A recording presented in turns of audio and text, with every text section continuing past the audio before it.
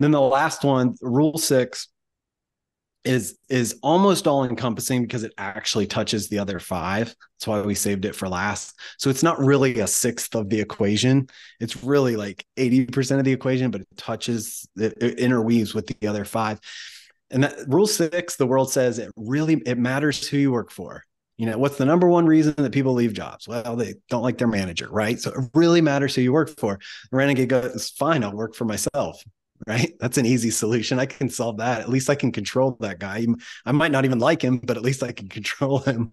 Uh, so I'm going to work for myself. And the the people shift says we work together.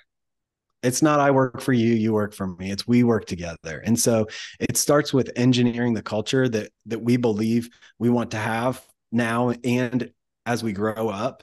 So it can be a little aspirational. We're, we're going to grow into this culture and um, it's the place that we believe is going to help people thrive and become the best versions of themselves.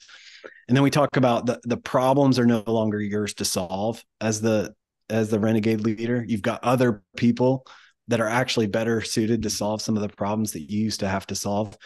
And then the people aren't yours to lead. We kind of already talked about that.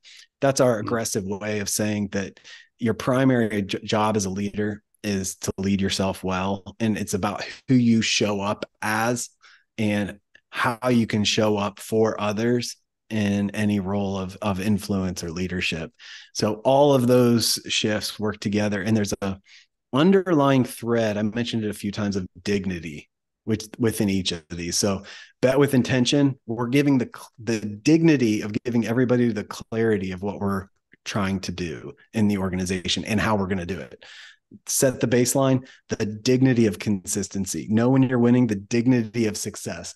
Start with the end in mind, the dignity of why this matters.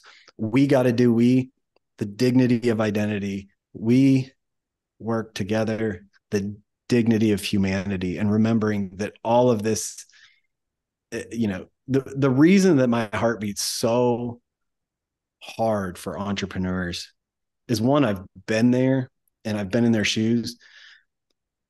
But the bigger the bigger drive is the ripples that these renegades make in their communities and the lives of the people that they get to interact with. I don't think there's a better place to work than small business America. And that I don't think there's a better place than small business America to actually grow the people in our community to impact their families the philanthropy that happens out out of that community impact. So I, the the ripples that have the potential to take place from people getting unstuck as a renegade founder and moving to a renegade leader are infinite